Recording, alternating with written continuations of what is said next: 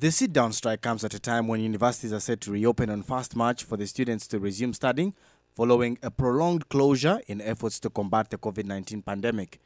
The Secretary General of the Forum for Academic Staff Association in Public Universities, FAPSU, Robert Kakuru, said the leadership of the staff associations met in May 2020 and resolved to go on strike in June 2020, but this was not possible due to the COVID-19 lockdown. Now, the strike takes immediate effect. If tomorrow you call us and say that this problem has been resolved, we will all pick our pens, pick our books, pick our files, pick our gadgets and go back to work.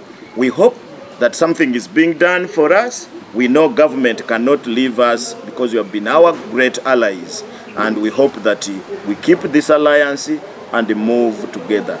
All the well wishers, the management of universities, please let's put all our efforts to make sure that this problem is resolved.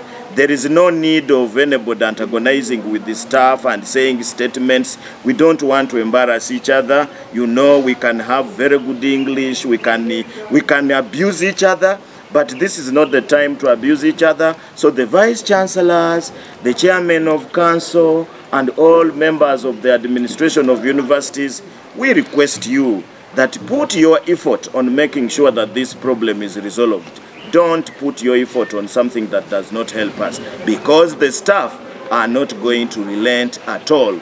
Even if you put which pressure, there's no pressure that is going to force staff to leave their struggle. The aggrieved lecturers explained that President Museveni directed the public service docket to allocate over 100 billion for full enhancement of salaries for academic staff in all public universities to enable university professors earn over 15 million, while a senior lecturer would be seen earning 12.2 million shillings.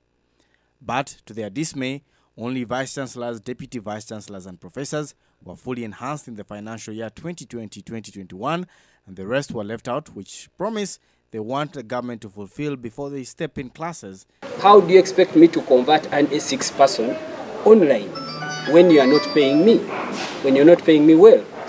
These people have come from secondary school and you expect me to turn them into a doctor, into an engineer.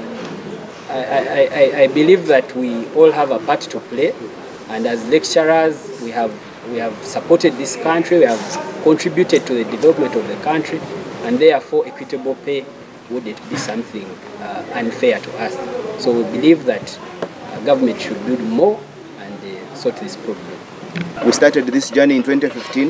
We have been patient enough. Along the way, our senior colleagues were enhanced fully,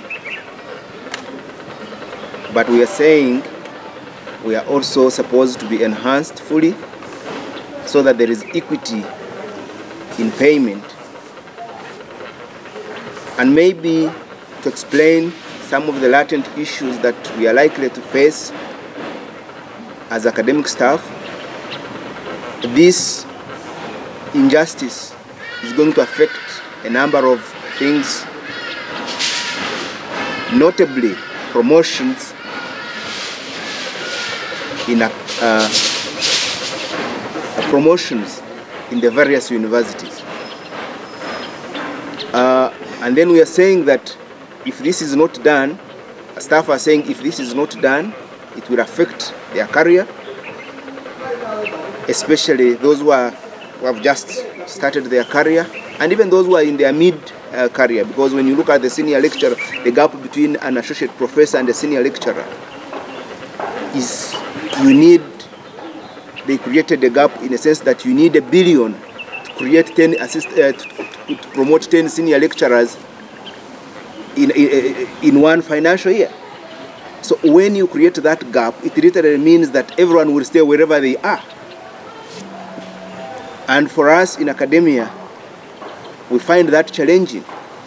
Therefore, we are saying the Minister of Education, the Minister of Public Service, the Minister of Finance, Planning and Economic Development should urgently handle this matter.